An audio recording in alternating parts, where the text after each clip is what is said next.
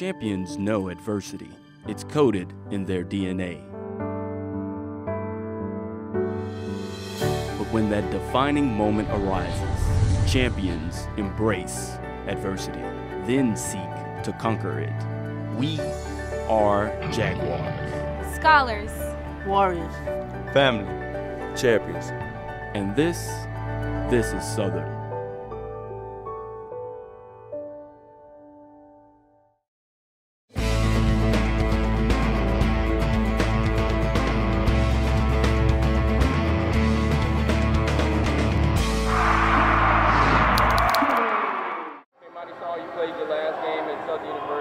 Talk about some of the emotions you were going through during pregame and once we had the senior day activities?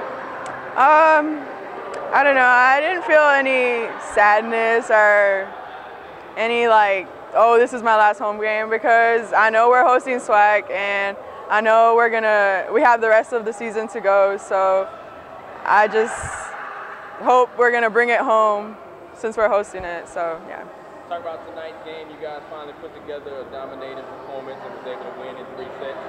Just talk about what you guys did to stay focused. Um, we just were mentally focused on not making our own mistakes and not playing against ourselves instead of playing like instead of killing ourselves where we're playing against the other team and just making them make the errors instead of us.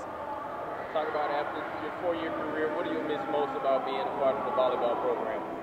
Um, the teams that I've been in all four years, they were awesome. We've had our ups and downs, but at the end, we're all family.